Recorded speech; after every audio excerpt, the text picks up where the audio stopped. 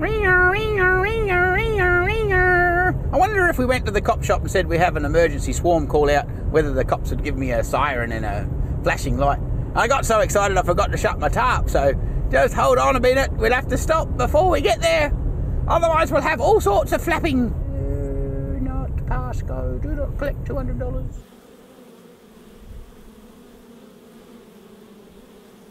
Well, we've got some bees in a barrel. so, emergency, emergency. These lovely people have come home from holidays or a weekend away, I think. And they've found a swarm of bees in their in a wine barrel in their backyard, which is obviously their outdoor sort of part of entertaining area. so that's not real convenient. So anyway, it's Bush Bee Man to the rescue. So just as well we had our siren on, we're here on time. This is when you do get a call out. If you ask the question, sometimes you can decide whether or not they're going to be going. I reckon they've settled into where they are now, so they probably wouldn't swarm away. Whereas sometimes you get a swarm call, and if you don't get there within the I don't know, 10 minutes or half an hour of the swarm call, they can the swarm can bugger off again. These ladies have made themselves a home in the most inconvenient spot. Long term, I don't think they're going to be very popular if they stayed where they are. So, cool. Let's go and see if we can't get them to cooperate a bit. Cool. Okie dokie doke. We've just got to make ourselves a bit of room here. Obviously, the ladies had the door shut before before the folks got home from holidays. So they thought this is a wonderful place to make a home. But of course, as you can see, they're in the in the poor people's entertainment area, so it's not ideal. Anyway, hence that's why we're here to have them rescued. I thought I might try something different today, since well, show you something different today. Since we can't actually drop these ladies straight into the box, we're going to clean things up and drop them on a sheet.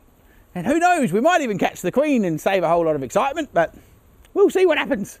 Hopefully, we can find her and pop her in the box and watch all the ladies make a home, and then we'll come back tonight and pick it up and ding, another bee box. Okay, so we'll just clean up some of the kids' toys and stuff out the way. My poor old body can get down here. Look at that, the girls could paint their own mural. Wonder how they'd get on. Stick their little, kind of cute, their little paint pots with little lids on it. Very awesome. God, it's been a long time since I've had little kids to entertain. Hey chicks, what are you doing? I'm thinking this is the kids' cupboard you've invaded. you little darlings. You can see all the little bits of extra wax flakes that they've left behind as it's fallen off. I reckon I'm going to put the sheet inside the actual box, barrel, or whatever I call this. Get the girls on the sheet and pull the sheet out and then hopefully catch the queen and pop her in the box. But you know, we can make the best laid plans, but you know, not always goes to that way, but I think that's the way forward in this particular moment. So let's get the header out the way. We'll just get our John Deere header out the way here. Where's the rest of it? Look at that. How was that for a guess? It was a John Deere. Mm. we could harvest some bees. Might be slightly different. So we'll just put this inside the barrel. We'll knock the bees off onto the sheet, which is actually, they've got quite a lot of honeycomb in here. Hopefully there's no honey in the comb. Anyway, we're going to knock them onto the sheet, pull the sheet out, hopefully catch the queen, put the queen in the box, and then um, all the girls will follow her. I don't know what else to do with it because otherwise, I suppose the other option is we could actually roll the barrel over and bash them on the ground and see what happens. But I think this will work. So every call out's different, so you just got to make it up as you go along. But this is what I'm going to have a try anyway. See whether this works.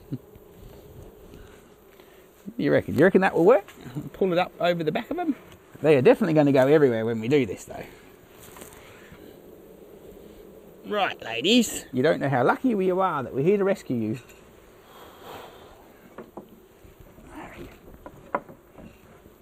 Here comes some chaos. What do I do with that smoker?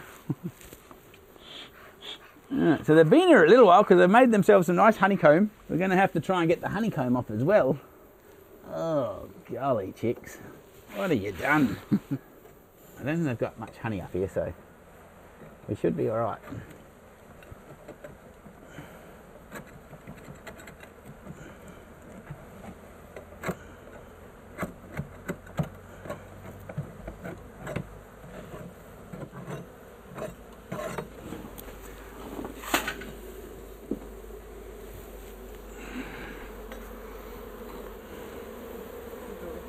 Okay, now we got them all sitting in the sheet.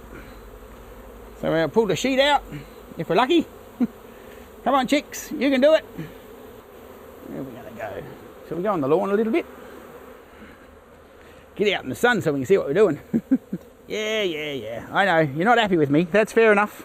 I don't think they're very happy to see me. Right, now, let's see if we can't find someone important. Here we go. This is going to be chaos now. Oops, that's very upset. We'll see if we can't find the queen in amongst all this excitement. Hopefully she's in here somewhere. She should be in this lot. We'll try and get it out the way. Hopefully she can't fly too well at this stage because she's been in here for a while. Here, where would you be, young lady? Where, where would you be? You could be anywhere.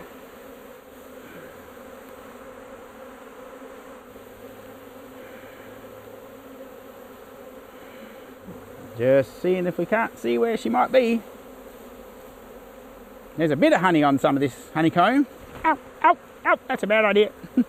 Don't sting me too much, girls. I'm actually trying to help you, even though it doesn't feel like it right now. I don't think they're happy to see us. Well, I can't see her in here yet, so I don't know. This might be a fatal mistake, but they're running in the box anyway, so I don't know what's going on with that. Maybe she's decided to go in there herself.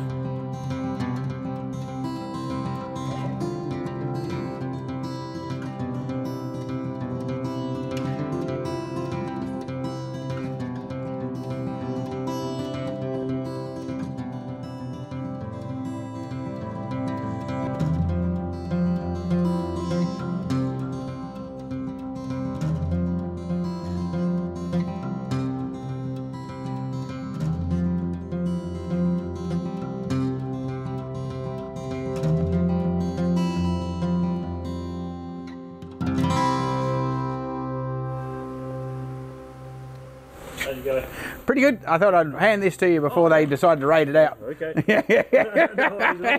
then you show the youngsters how they build it. Love it. Well, there you go. You never know what's going to happen, do you? When we brought the little bloody bundle of bees out out uh, out of the keg, she must have run straight into the box and said, "Hello, here looks like a lovely home," because all the girls have orientated there beautifully. So we're just going to put the bees back up on top of this barrel over here, where they where the field bees are orientated to. And then by the time we come back tonight, hopefully all the ladies will be sorted themselves out. We'll pick them up, put them in the yard, and away we go. So, whew, that was pretty successful, I think. I'll see if I can get myself stung when I move them. So we'll just slip the lid forward to keep the ladies in there nice and toasty, keep them all cosy, won't we, girls? Are we ready? Here we go. Pop them up here and see what happens.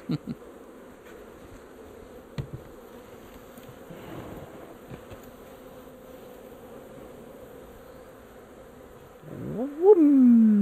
And they're going, hello, here's our new home. Thank you, Mr. Bush Bee Man. Hopefully that's what they're thinking. you think that's what they're thinking? Do you think that's what they're thinking? Thank you, Mr. Bush Bee Man. I don't know. I just want to poke that bit of plastic in there so that it doesn't flap too much. Ow, don't sting me. no, that's not going to happen. Do this instead. We'll stick a few things up, lean up against it. Ow. Now they've decided they want to protect themselves.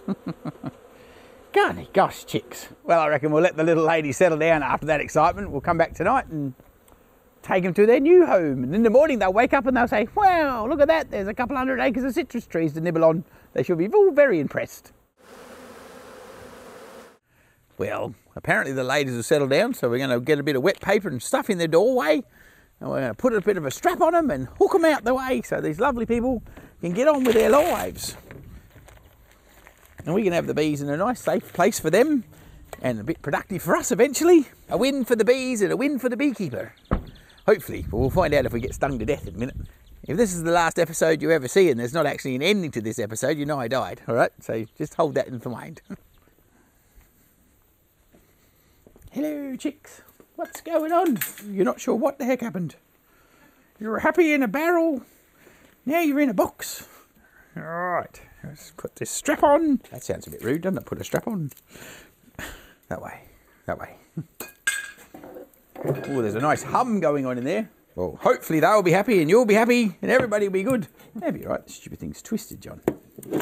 Otherwise, it's going to hang over the edge and then we're going to knock that thing open. We'll knock the end off it off and we'll get to where we're headed and the lid will be off. There will be all sorts of strife. That all looks pretty good. I don't think there's a hole in the bucket, so that's good. Very good. Thank you, sweetheart. we will. Do anything with barrel or? No, if your barrel should be all good. Oh, do I need to put a hat on, help, light on my head? Oh, chubby us, chicky babes. Right, come on, girls. Let's go to your new home. And blare. Mm. So we're just going to pull our paper out and run. Are we ready? Escapees! And nobody came out. One little guard bee came out and went, Hey! well, I think those barrel bees were quite good. We'll have to get the wife out here to put a tag on them so we know which one is the wine barrel bees. Because now I've got what I've got the hobbit bees, I've got wine barrel bees, I've got kindy bees, and our sweatbox bees. So if we can get some of these genetics to get a roll on, get the wife organised, she wants to do a bit of queen breeding. You never know. People might put an order in. Can we have some hobbit bees or some wine barrel bees? I don't know. That's going to be an interesting thing to have on the order sheet. Can you imagine that? We'd like some kindergarten bees, please. They're nice and friendly. Anyway, that's down the road a little bit. Let's see what happens. Actually, talking about that, we had a had an email from one of the fans saying that he enjoyed watching how we finished the hobbit bees off. And so we should take you around and have a bit of a review because I've had a few other people say to me we should have a review about the boxes that we've caught or saved over the years and how they're getting on. So an episode coming shortly, we're going to do that. So stay tuned and you can see how the kindy bees are getting on. So don't forget to click like, subscribe if you're enjoying yourself on this bee journey of insanity. And go take me to your neighbours and say, look, this crazy bush bee man, he's a mad fella.